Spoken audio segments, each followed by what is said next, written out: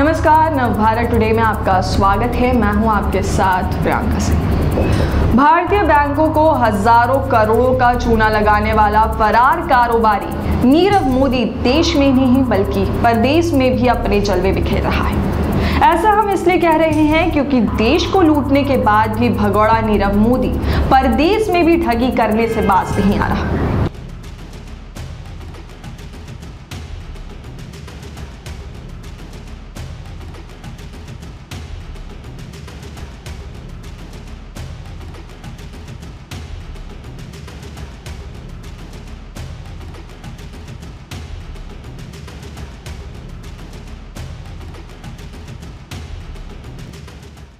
ताज़ा मामला हांगकांग में कनाडा मूल के एक निवासी का है, जिसे नीरव मोदी ने नकली हीरे की अंगूठी बेच दी।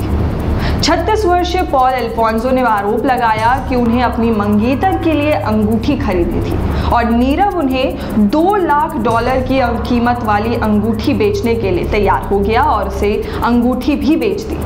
एक अखबार की रिपोर्ट की माने तो ठगे गए शख्स ने बताया कि वह नीरव से कई बार मिला और उसका अच्छा दोस्त बन गया। तब नीरव ने उसे अपने बारे में सब कुछ बताया, जिससे पॉल को उस पर भरोसा हो गया।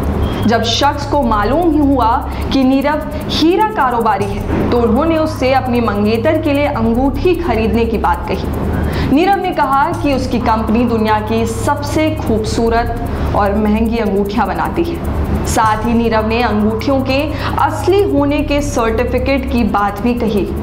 फिर क्या था?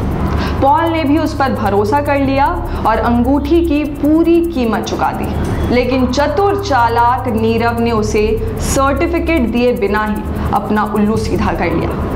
बाद में पॉल ने जब अंगूठी की जाँच करवाई तो वो नकली निकली और उसके पैरों तले ज़मीन खिसक गई। यूँ तो पॉल ने कैलिफ़ोर्निया की अदालत में नीरव के खिलाफ चार दशमलव दो लाख डॉलर का मुकदमा दायर किया है। लेकिन उसे क्या पता कि जो करोड़ों का चूना लगा चुका है, वो इतनी जल्दी कहाँ हाथ आने वाला है? इस बार के लिए बस इतना ही। अगली बार हम फिर हाजिर होंगे कुछ नई खबरों के साथ। तब तक हमें दीजिए इजाज़त। नमस्कार। नवभारत टुडे देखने के लिए हमारे चैनल को सब्सक्राइब करें और नोटिफिकेशन पाने के लिए बेल आइकन को प्रेस करें।